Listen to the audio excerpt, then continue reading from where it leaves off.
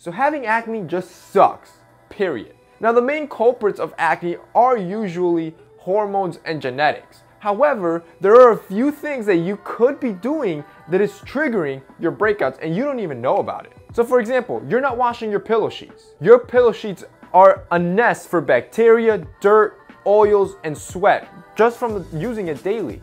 So I recommend you wash your pillow sheets at least once a week. You're placing your face on this every night, which could be causing some breakouts. Another thing you could be doing is touching your face constantly.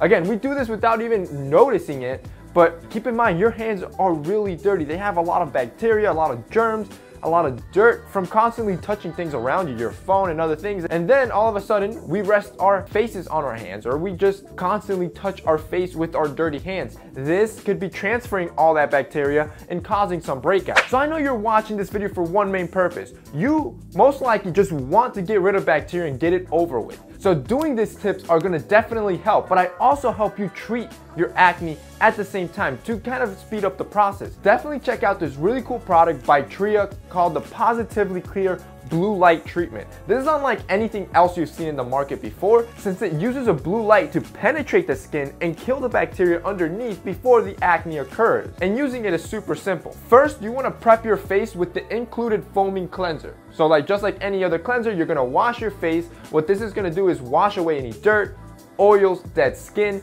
that might be building up on your face. And now you're ready for the blue light tool. Using a non-UV high energy light source, the FDA cleared positively clear acne clearing blue light device treats mild to moderate inflammatory acne by penetrating deep into your skin to kill that acne causing bacteria. You will feel it working as it warms up when you place the tool against your skin, clearing your skin and killing bacteria. Once you're done clearing your whole face and treating it, you're done for the final step, which is a spot treatment cream that they also include as part of the kit. And what this is for is for those specific problem areas where a lot of acne is growing, you can use this spot treatment cream afterwards. What this is gonna do is it's gonna soothe your skin since it's infused with antioxidants and also help clarify those target areas. So if you guys are interested in trying this awesome kit to try to fight off bacteria, I'm gonna have it linked below. It's really unlike anything else that I've personally seen and honestly, it's really awesome. The third thing you could be doing that's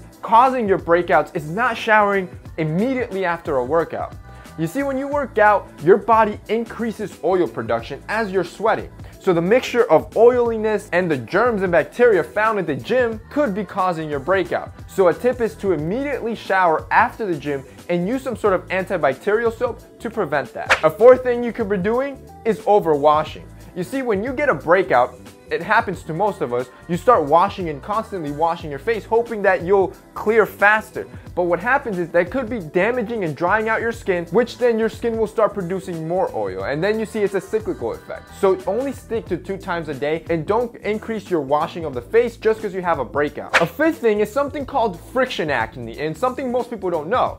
Some people get severe acne breakouts on their back and on their butt. And usually it's from friction from very tight clothing and the sweat production that occurs because of it. Usually this is gym clothing like leggings and stuff like that since it's compressed against the skin and on top of that, you're sweating. So don't make a habit of lounging around in your sweaty gym clothes. Make sure that as soon as you're done, you take them off and throw on some fresh rags. Number six, and something a lot of people don't know, is that you're probably treating your acne with the wrong products.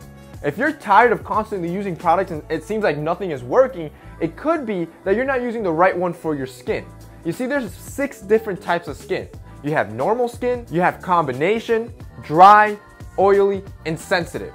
Those are the five different skin types. So make sure that the products that you buy address your specific skin type. This will increase your chances of it being effective. Number seven is popping your zits with your dirty hands. So most of us have a habit or an urge to pop zits. But the problem is if you do it without washing your hands before. Your hands are filled with bacteria, with germs, with dirt, and when you pop a zit, that's an open wound. You could be potentially reinfecting that area and just making the matter worse. Number eight is your hair. So if you have long hair or some sort of hairstyle where it falls on your face like a fringe cut, your oily hair that's filled with hairstyling products could be clogging your pores. an easy fix would be to obviously adapt a shorter hairstyle or pick a hairstyle where the hair is kept away from the face. Also, when you sleep, try to not sleep with your hair on your face. Number nine, this is another counterintuitive thing and it's not using moisturizer. A lot of people skip on moisturizer, especially if you have an oily skin complexion, because they think it's gonna make their skin more oily. But in fact, moisturizer is something that everybody needs to hydrate their skin. And for people with oily skin, when they don't moisturize, their skin, to avoid it being dry, produces more oil.